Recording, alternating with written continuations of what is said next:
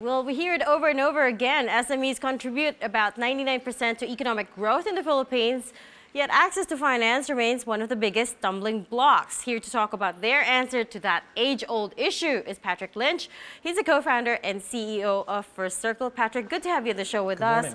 Uh, First Circle literally just launched just a few days ago. Indeed. Explain to us how it works. Sure. Well, when we, we set out in this journey, what we realized that we needed to do in order to empower small businesses was really to reduce the amount of time that it takes for them to open an account with us. And uh, our target for that was actually 24 hours, and then also uh, to reduce the amount of time that it takes for them to avail of finance. And so everything that we've done so far in building a wonderful technology stack has been really geared towards um, improving the availability of finance for small businesses. So it's essentially easy access to finance for any type of SMEs. Um, mm-hmm. And we actually pulled some uh, stats off your website that shows exactly how tedious it is for uh, SMEs in the Philippines. Uh, it takes 14 hours to complete paperwork, requires three in-person visits Indeed. to the branch, to, and takes 34 days uh, for a decision to be made on their application. Exactly how are you trying to, uh, you know, uh, leapfrog all of these issues? Sure. So what we've done is we've built a full end-to-end solution, which gives us uh, great control over the full customer journey.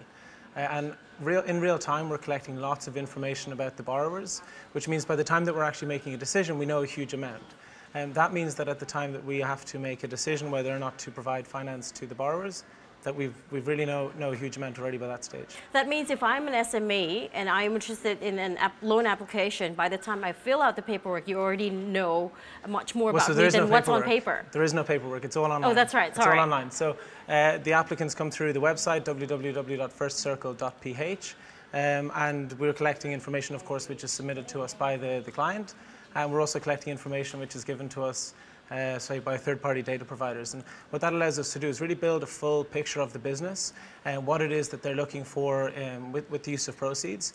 And the length of time means that we can actually give businesses the chance to, to compete and to win um, purchase orders, for example, which they would otherwise miss.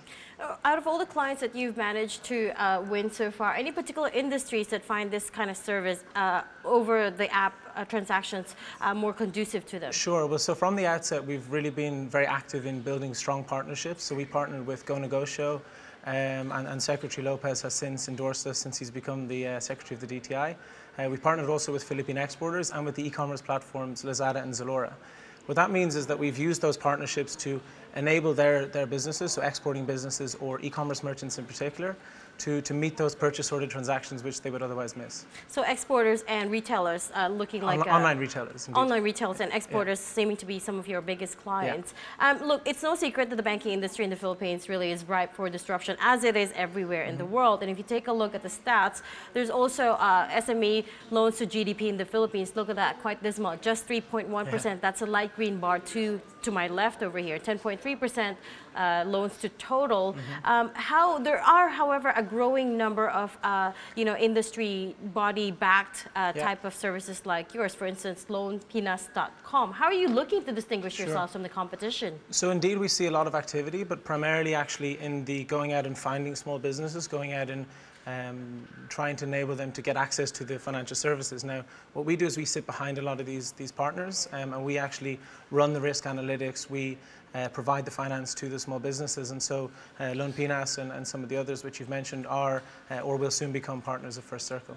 What's the growth strategy here? What's your uh, what's the, what's the end goal? Sure. Well, look, I mean, if, if you look across Southeast Asia, we estimate that the market size is about 50 billion US. Uh, in the Philippines, it's probably somewhere around 8 or 9 billion US.